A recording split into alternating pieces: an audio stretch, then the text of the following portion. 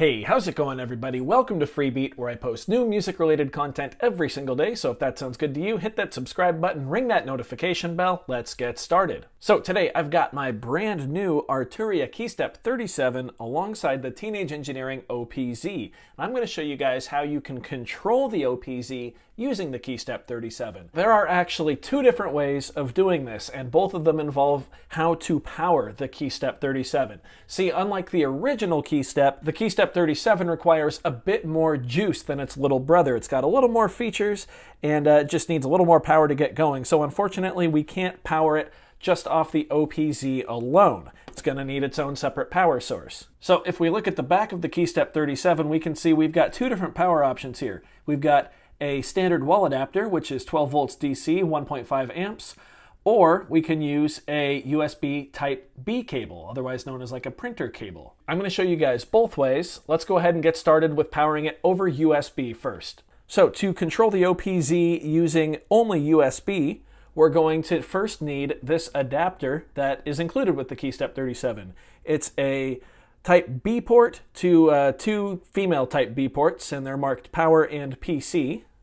Set that aside. You'll need a standard USB Type A to USB full-size Type B cable. This is the one that, uh, again, is included with the Keystep 37, so if you've got that laying around, you can just use that. And then you're also going to need this. This is a full-size Type B cable to USB Type C. And this is how we're going to connect to the OPZ. If you've used the Novation Launch Control XL with your OPZ, this is the same exact cable that we use for that. You're also going to need some sort of power source for the USB cable from the Keystep, so that could be a USB to wall adapter or something like a USB port on your computer. That's what I'm going to be using. So let's go ahead and get started. Let's take this adapter here, the uh, included B to double B splitter that comes with the Keystep. We're going to flip the Keystep back here and plug the male end of that into the Keystep itself right here, just like that. There we go. Nice and secure. Now you're going to grab your Type A to full-size Type B cable, which looks just like this. Again, this is the included one. We're going to take the adapter and we are going to plug this end into the port marked power. That's very important that you look on the uh, side of your adapter there and plug into the power port. Just like that. Now you're going to take this end and plug it into your power source. So again, that could be a USB to wall adapter, or it could just be a port on your computer, any USB power source. I'm just gonna plug it just off camera here into my computer. Perfect.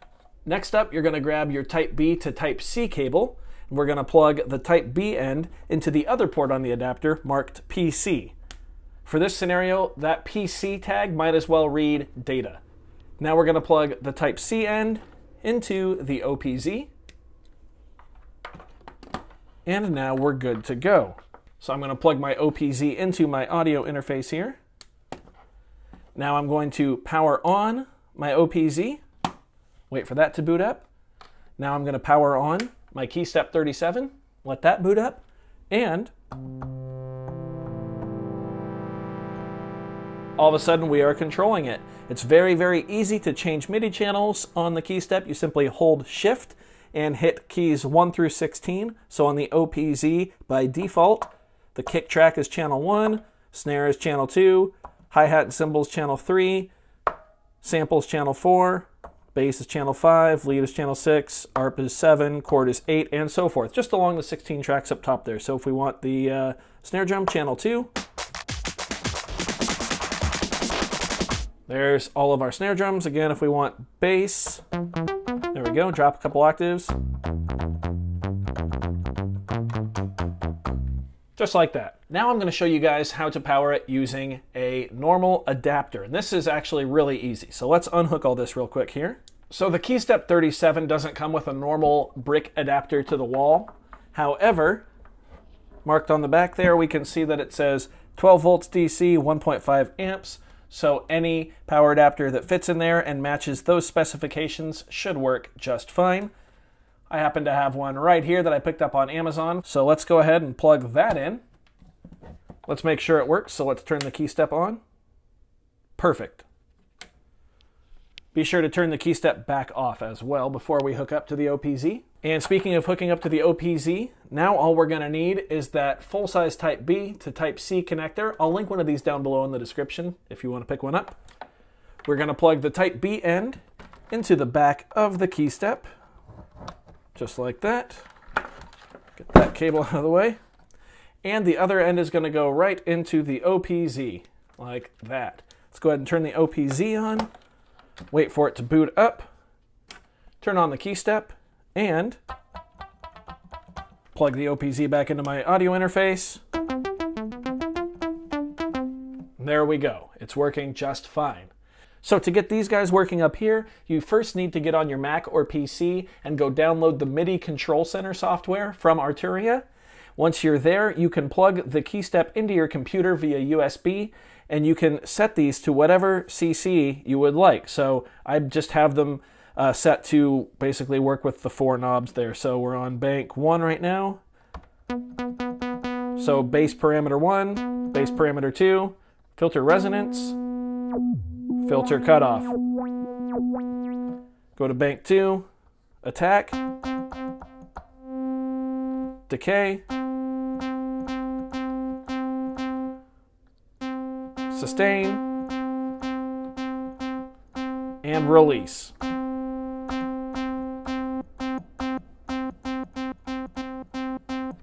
Go to bank 3, which I actually have set to the fourth page of parameter effects because I don't like using uh, knobs for the LFO when I'm not on the app. So this should be effects N1, which in my case is delay, effects N2, which is reverb, this one's going to be pan, which I'm not going to demonstrate right now because I'm actually recording mono, don't tell anybody. And then this one is track volume.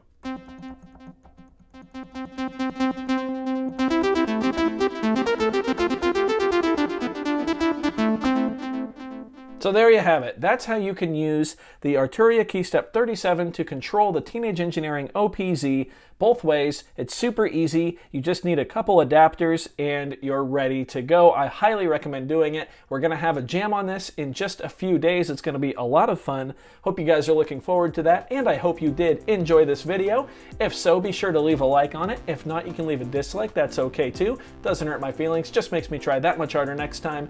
Either way, be sure to hit that subscribe button, ring that notification bell. Thank you so much for being here. Thanks for watching. We'll see you next time.